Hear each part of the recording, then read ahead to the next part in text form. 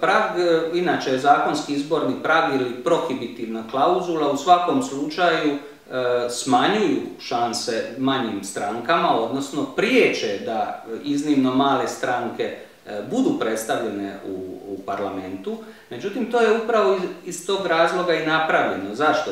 Zato što E, pogotovo kad je riječ o ovom tipu sustava, kao razmjernog sustava kakva Hrvatska, kakav Hrvatska e, ima, e, vodi se računa naravno i o reprezentativnosti i o predstavništvu, ali se s druge strane mora voditi računa i o tome da parlament ne bude rascijepkan, odnosno fragmentiran u veliki broj izrazito malih ili sitnih stranaka, što onda e, onemogućuje efikasno vladanje.